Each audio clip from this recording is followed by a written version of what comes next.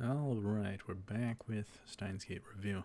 This is probably as much as my voice can take for now, but uh, I forgot to be uploading stuff while I was recording these. But now we're now we're uh, doing such. Um, the uh, North Pole needs better internet. So do I. But um, Was gonna see if people got tricked into thinking I'm at North Pole. All right, episode three. Um. All right, so the uh, banana teleported. Not only that, but they have a witness outside of their group. Makise, of all people, having observed and seen and overheard what had just happened. And she's curious. Not good, not good when you have that big of a secret. Ay, ay, ay. A chick? Come on. We know what could happen. Easily happen. She could go gossip it everywhere and put them at risk. All right. So, Makise in the Future Gadget Lab makes herself known to Daru and Okabe and knows about the experiment. She's intrigued about the words uh, that he said to her prior about her having died. And of course, now seeing the experiment, she's double curious what's going on here. Makise Kurisu introduces herself to Okabe. Okabe tries to uh, trust Makise, but things aren't perfect yet. Um, obviously, when you first get to know someone, you're not going to really trust them right off the bat. None the, especially less if you just invented a teleporter and someone you don't know just saw and witnessed it and is curious. Uh, yay, yay, yay. Fast friendship now.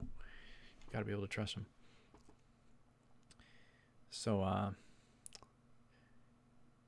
and then um, her calling him out. Hentai. Makise uh, suspects the um, microwave did the uh, uh, teleporting. Daru and Okabe conclude for her to become a member of the lab and help out. Makise agrees to not call the cops on them after claiming Okabe had groped her formerly. Uh, he uh, stunned that she's alive. He wanted to make sure. He wanted to make sure she's real. So he was going through her hair, poking her in the cheek, making sure she's real. to her dismay, what's going on? And then even going like that. Oh man, you are asking for it, Okabe. Goodness. And here's where she gets a better name Christina. Mayuri finds Makise as a new lab member, which makes her quite happy to be. Uh, which makes her quite happy because she is has been the only female member of the lab. So now there's two. Okabe and Daru find out the microwave uh, had electricity yesterday around noon. Daru wired it to his phone, and the text got sent at noon, and that Daru was running tests at that time. So there were very specific things going on. They're trying to pin things down of what's going on, what happened. So the um, best thing they are thinking is to duplicate what had just happened in a sciency way to make sure that they get the same result. The same result. Um, so they have to send a text. And I forget who, but it, it ends up being Okabe is a hentai, which gets sent back in time. Mayuri uh, opens up the microwave um, prematurely because she's a blonde. and the lab gets damaged by the microwave. Okabe protects Mayuri, shielding her with his own body, getting her down. After all that, after the smoke settles, clears, Okabe checks his phone. The text successfully went back in time to 2010 724 at 1730. Okabe concludes the text went five days to the past. The microwave hooked up to the cell phone is a time machine. A time machine. Okabe receives several messages of spam from Moeka. Daru mentions his 2D women. Oh boy. Oh boy. And there's the recall of um, what happened afterwards of Makise running off scared after the experiment happened. Um, so she was spooked about the time machine being real. Um, I guess that's kind of a bit some funny and irony there, because they they debated about time travel and time machines. So I don't know. Even given that he lost the debate, I guess you could say he still won. I don't know. I just thought of that. Um, she beat him in a debate about time travel and time machines, but then he actually makes the dang thing. That might be some unintentional comedy. I don't know. Anyhow, so Makise is gone now. Talks of CERN's LHC, Large Hadron Collider. Okabe mentions John Titor Daru. Then we got the um, European Organization in Nuclear Research. Um, the LHC, there's rumors about it being able to create micro black holes. They're doing all sorts of stuff. Who knows? Who knows on all that sort of stuff? Once in a while, you see a uh, article about the sort of all this wacky trash they're messing with, which I don't know, they're going to do anyway. Um, all the different countries are. Um, can't stop that. But I I probably do think they're messing with things they probably shouldn't be messing with. Um, it's just bonkers what they uh, can do and are messing with. Anyhow, a lot of talk stirred up online. Speculation that um, time travel, the successful time travel method, would involve mini black holes. So, so if you add it up, the LHC rumored to be able to make micro black holes, and the speculation online is that you need the micro black holes to do the time travel. However, CERN announced failures for making mini black holes. All that, believe you me, all that stuff about black holes and stuff, all this super sciency, wacky speculation, as deep as you want, if you want that, it's in the Steins Gate visual novel. Holy moly, did it have some deep stuff on that. Jeez. Um, that that'll boggle your mind successfully several times over. Um, good luck remembering any of that. Jeez. Um, then we get an El Psy Kongroo.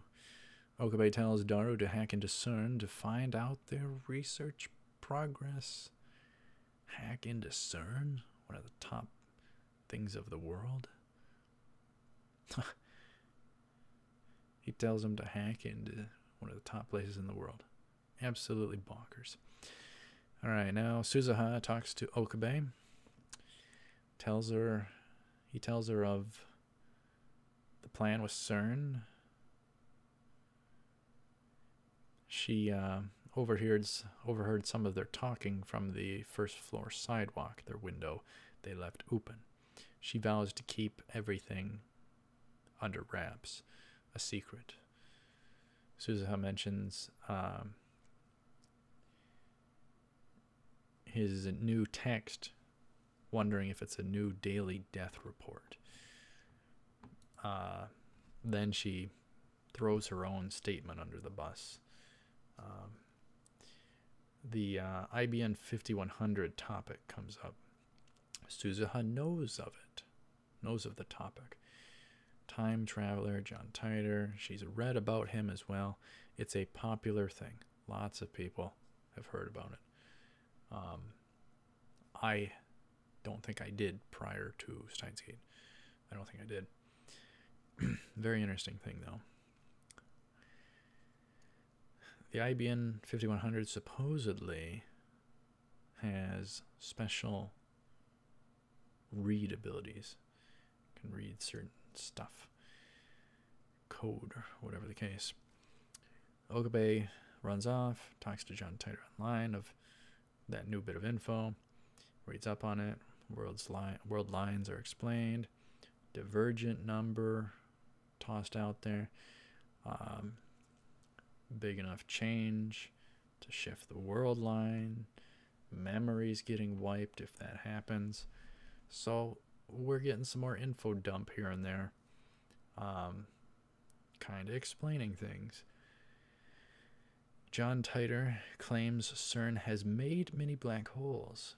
2036 is when CERN controls mostly everything because of their monopoly on time travel. It's it endangers the world essentially. IBM 5100 is needed to halt their control. Uh, once again, denies to be from or traveled to the year 2000, but could be the him from another world line. Oh boy. John Titor gives his email to Okabe. Tuturu. Miuri. Daru doing a hack. Um, or Daru is a hack. Hacker. Oh man. And that reminds me. I just remembered something. I just remembered something, and I'm so glad I remembered it. I was bound to remember it uh, at some point along the, doing these reviews. Something that's kind of neat, kind of neat, that I had found on YouTube. I forget how or when, but uh, was a while back. But and you might not be completely interested. It's not a 10 out of 10 type of a deal. It, it was a nice attempt, but I even forget what it's called, but look up something like Steins Gate Living or something like that. It's it's like a live rendition of Steins Gate, um, bits and pieces of it. They did pretty good. They did pretty good. I thought it was quite interesting.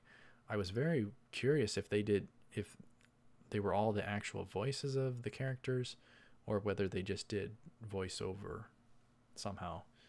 Um, it was awesome though. It was it was pretty cool. Um, so, if you want to look that up, that's pretty neat. If you're a Steins Gate fan, you'll definitely want to at least check it out to see if you're interested. Um, like I say, it's not 10 out of 10, um, but it's pretty neat. It's pretty neat to see it in a different version, a real life version. Um, they did pretty good. Um, but anyhow, um, Mayuri learns of the hacking thing. Mayuri is not for it. She disagrees with them wanting to hack into the place CERN and see what's what's really going on. Top organization of the world.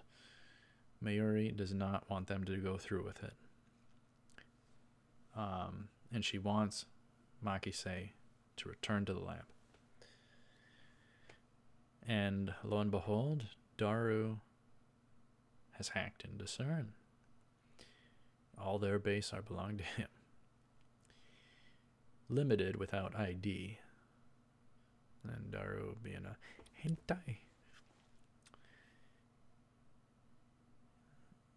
Here we get uh, first first scoop translations of emails of the Large Hadron Collider from CERN. I think what they do is uh, what it is is they they super fast collide tiny particles together and see what happens type of a deal something like that and probably worlds of other things we don't know about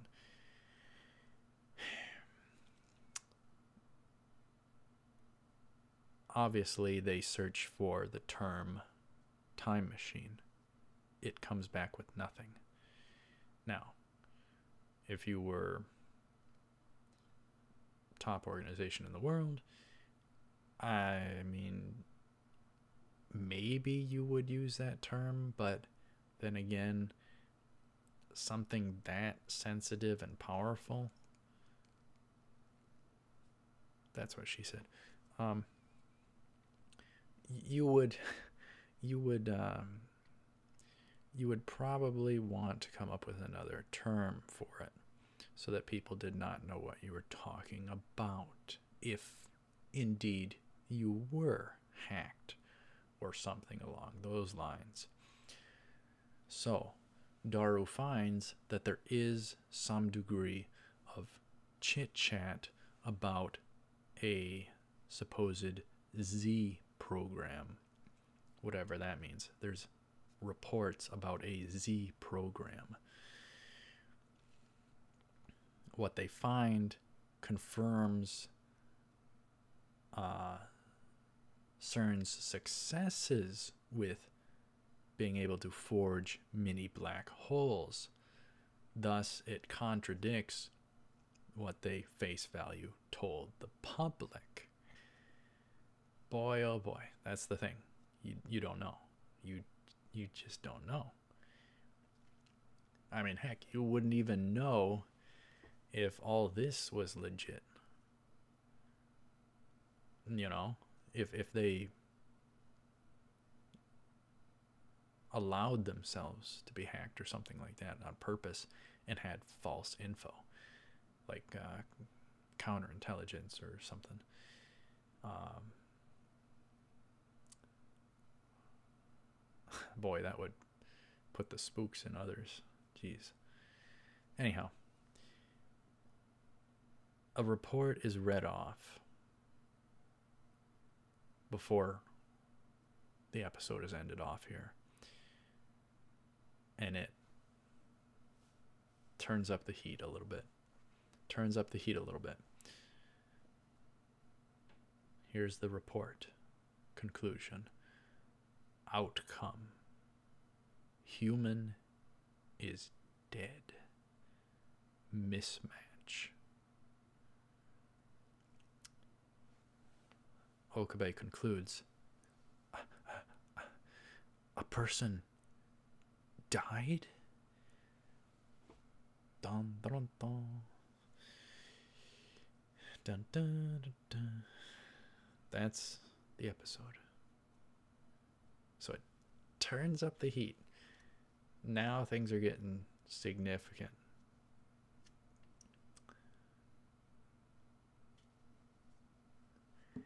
and I had some. I had a minor bit of speculation.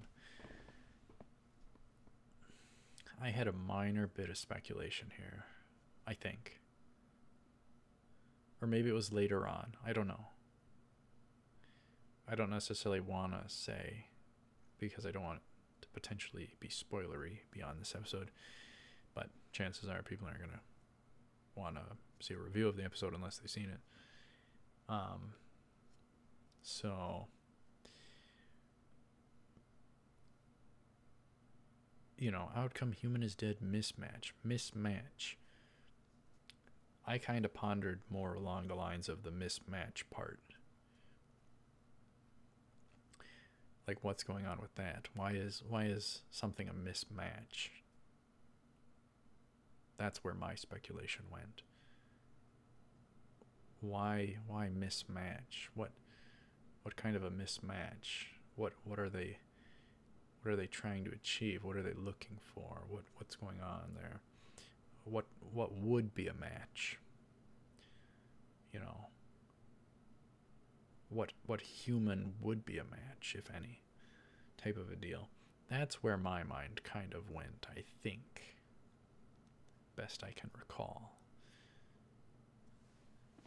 And I think it would be the case for any of us. Any of us who have seen Steins Gate and is a big old fan of Steins Gate and the time travel genre, any of us would love, love, love, love, love, love, love, love, love to use time travel for good, go back in time to watch it blind again. If at all possible. So, I don't know. I don't know what my favorite part of this episode was.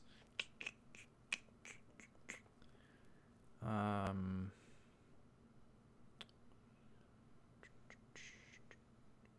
probably that cliffhanger again. Dang. I like the most meat and potatoes moment, the most hype worthy moment, the heaviest moment.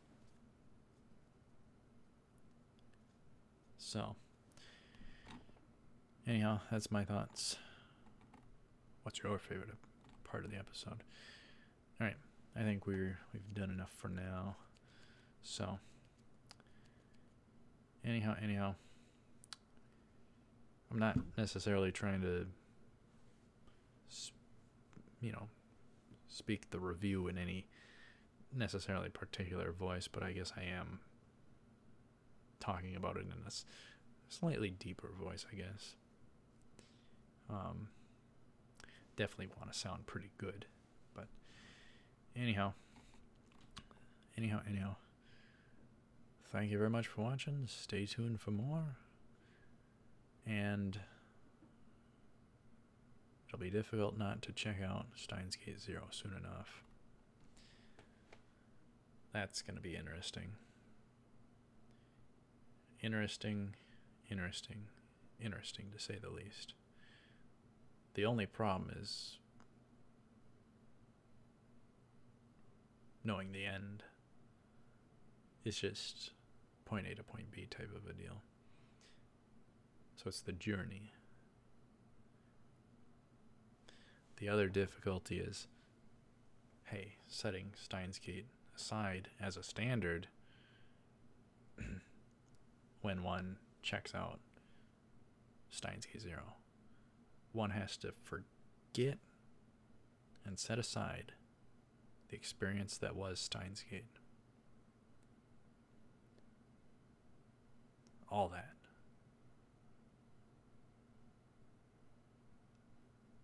All those moments. All those moments.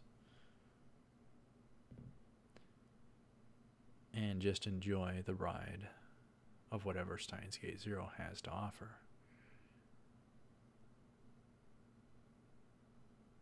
It's going to be interesting. So, anyhow, I think that'll do us. So, thank you very much for watching. Stay tuned for more Steins Gate review, episode by episode. Just bare essential notes based on the episodes of the events, what happens in them. Not blind notes, just notes. So, we'll see. Anyhow, thank you very much for watching. Stay tuned for more. I will see you up ahead. As always, take her cool.